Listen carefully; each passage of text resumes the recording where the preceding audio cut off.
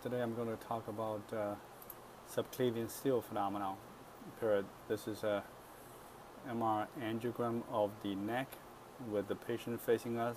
This is the bottom is the aortic arch that uh, send arteries to the arm, to the right arm, to the left arm. This is the head. That's the vessel that's supplying the head. This is the right internal carotid artery, the left internal carotid artery supplying the brain. Um, the uh, the left side vertebral artery is small, the right side is large. Uh, there is a focal narrowing stenosis in the left side subclavian artery supplying the left arm.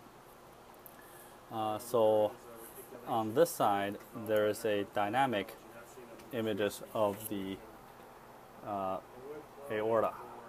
I'm sorry, of the neck.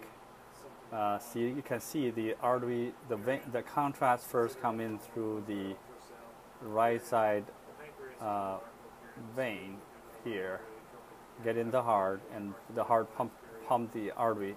I'm sorry, pump the uh, uh, contrast to the artery out. The interesting part is the artery is opacified here, the right vertebral artery is opacified here, but the left side is not. You can see the left side, the most distal part of the vertebral artery is shown up before the, the proximal part here. The, basically, essentially, the blood flow normally should flow this way, now it's from the other way, uh, from the head to the uh, toe, that way, up to bottom, this direction. The blood flow should be this way.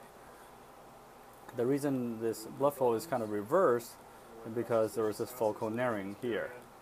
And the blood is not getting to the arm, so when, whenever people, uh, this person need uh, blood in the arm, the blood flow through the right vertebral artery and cross over, turn over to the other side, the left side, and cross to the left vertebral, uh, left subclavian artery and supply the arm. So if the left arm is moving a lot and use a lot of artery, uh, use a lot of blood flow, then the so-called stealing of blood from the right side will be more and then may not have enough blood to the brain.